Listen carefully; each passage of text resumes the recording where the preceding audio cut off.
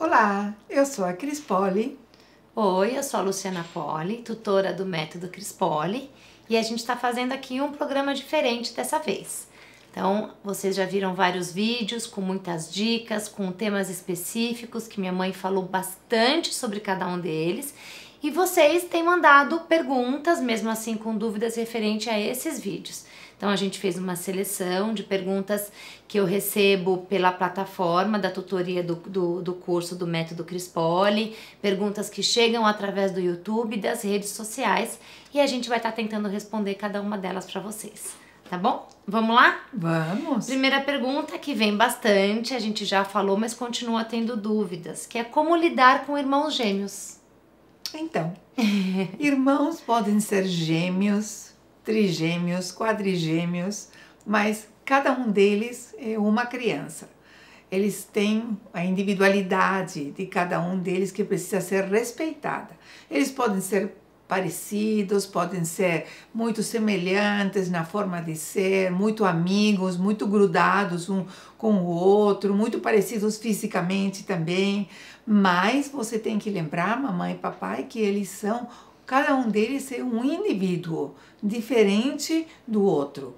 Pode, volto a falar, pode ser muito parecido, mas ele tem as suas individualidades, eles têm as suas habilidades, os seus talentos, os seus gostos, e vocês têm o desafio, né? Tem a, a, a obrigação de descobrir cada um deles as diferenças que eles têm tá? E ajudá-los a desenvolver todas essas habilidades, esses talentos eh, que cada um deles tem. Isso é importante para quê?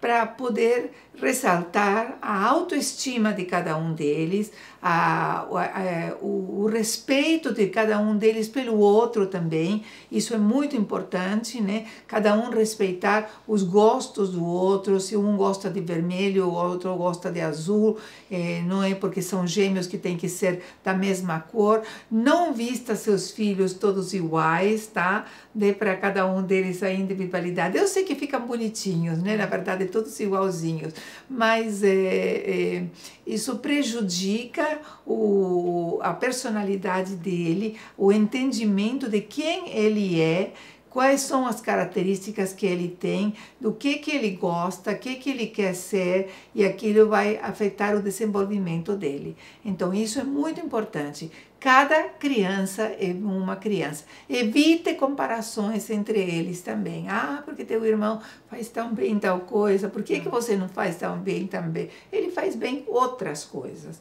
O desafio é você eh, descobrir essas individualidades, essas, essas características únicas que eles têm e ajudar a desenvolver para que eles se sintam pessoas eh, firmes e convictas com autoestima forte e firme tá? Tá bom?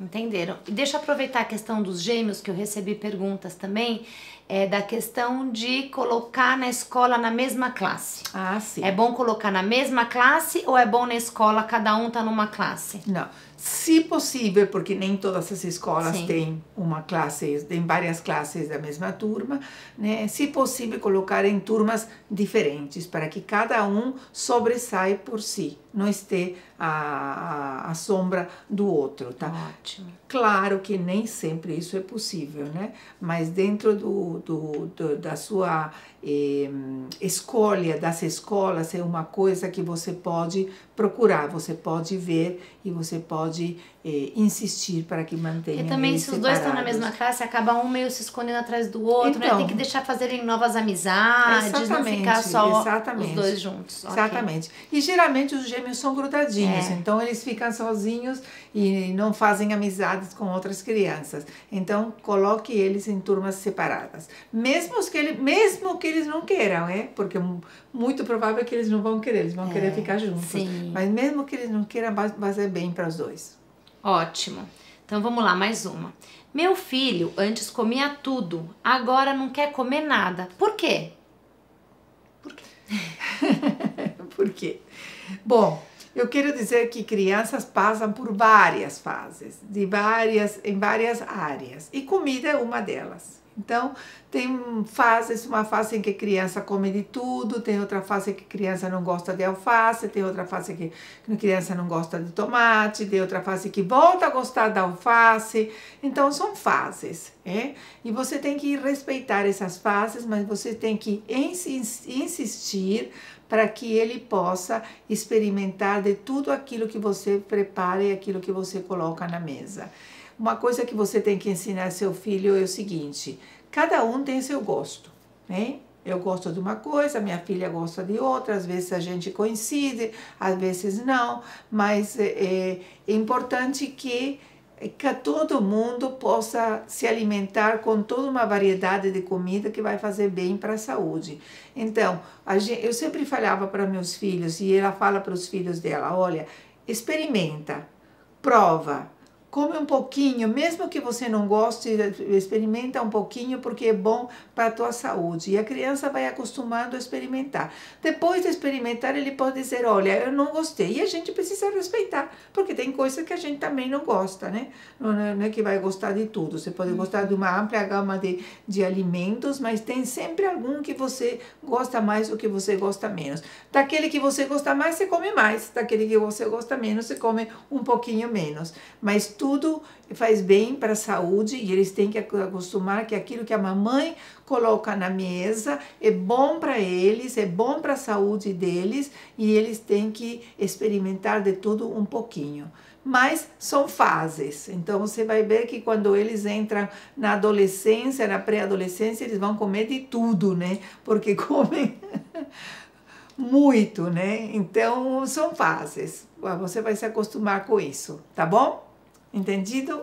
Ótimo. Ótimo, né? Agora vamos entrar num assunto que assim é um pouco mais delicado, porque é uma questão mais específica, que é a questão do autismo, que a gente já falou um pouco no, no, nos vídeos do Cris Poli Responde, de crianças especiais, mas tem muitos pais perguntando como, ligar, como lidar com crianças com autismo que fazem birra. Uhum. Então, como toda criança é especial, ela precisa ser tratada de uma maneira diferente. Então, a birra é também uma expressão de um descontentamento que eles têm, mas é, a orientação é a mesma, é, de você não é, obedecer, não fazer aquilo que a criança pede, porque a birra ela se repete e sem nenhum motivo também. Mas tem que ter mais cuidado com as manifestações, por quê? Porque por causa da, do, do, do, das características dele, das dificuldades que ele tem. É, é sempre bom Imagino que uma criança autista está sendo acompanhada por médico, está com tratamento e está tendo toda uma orientação. Então é bom você conversar com o médico para ver qual é a orientação que o médico dá nesse, nessa, nesse nível de autismo que seu filho tem. Porque também tem diferentes níveis de autismo, como tem diferentes níveis de síndrome Sim. de Down. Então, cada um a gente eh, trata, a gente lida com ele de uma maneira diferente, de acordo específica, sim. de acordo à sua necessidade, tá bom? Ok. Mais uma, que também é o que mais tem. Como ter autoridade e voz de comando com os meus filhos? Autoridade é uma coisa que Deus dá para você num pacotinho junto com seu filho quando ele nasce, tá? Quando você recebe essa criança, que é um presente de Deus, você recebe junto com a criança um investimento de autoridade. Você é autoridade, mamãe e papai na vida dessa criança, que não entende nada, que não sabe de nada, que precisa aprender tudo.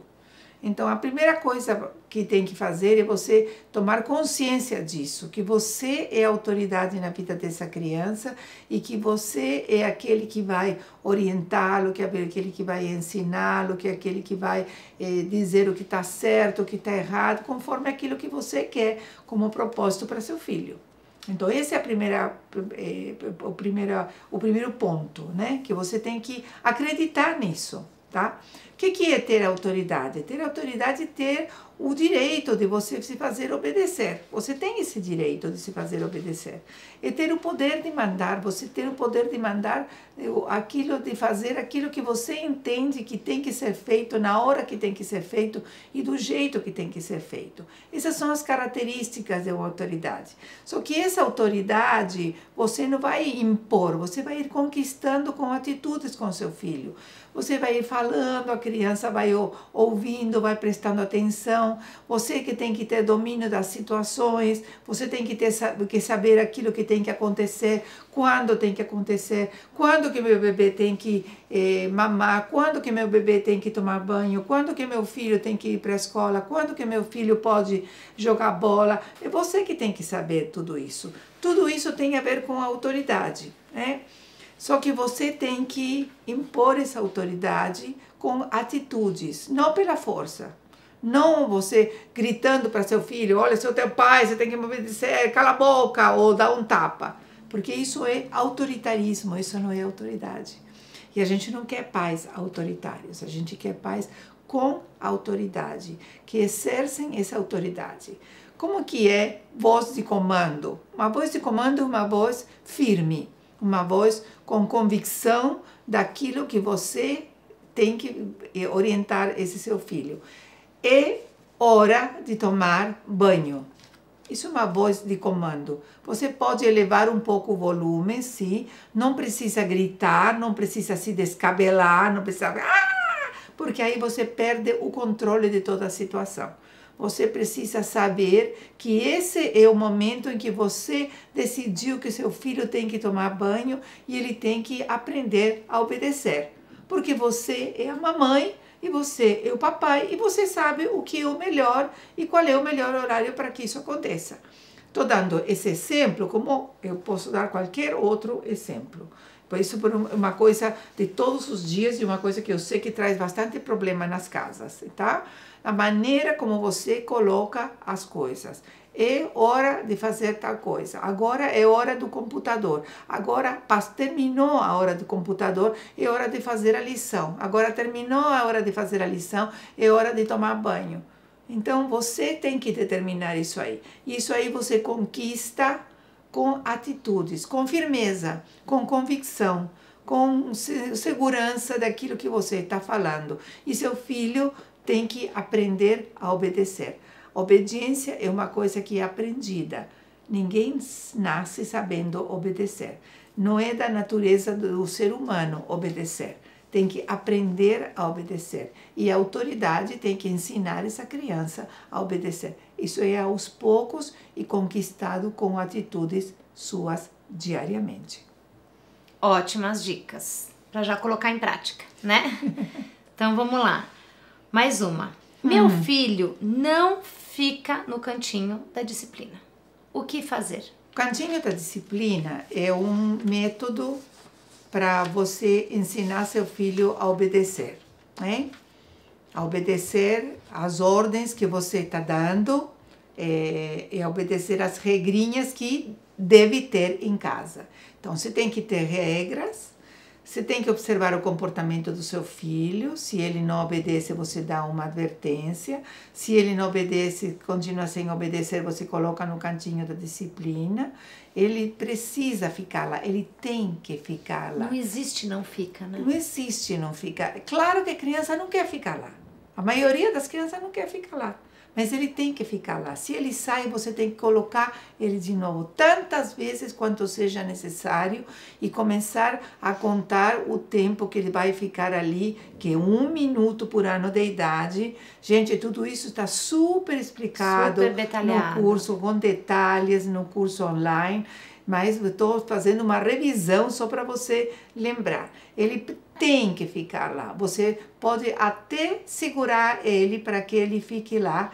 Ele se ele chorar, se ele gritar, se ele chamar você, não importa, enquanto ele fique lá, tá? Eu não estou falando que ele vai ficar quietinho, sem chorar. Ele pode chorar, ele pode gritar, ele pode chamar você, mas ele tem que ficar lá. Não, não, não, não, existe, como a Lu falou, não existe se não quer ficar lá. Ele tem que ficar lá. E você vai colocar ele tantas vezes quanto seja necessário até que ele entenda ele tem que entender que ele tem que ficar lá um, dois, três, quatro minutinhos, que é o necessário, um minuto por ano de idade, para que ele possa raciocinar e aprender a regrinha que ele está desobedecendo. Tudo bem? Se tiver mais dúvidas, volta lá para o curso, dá uma revisada e você vai ver muitas mais explicações sobre isso. Ótimo.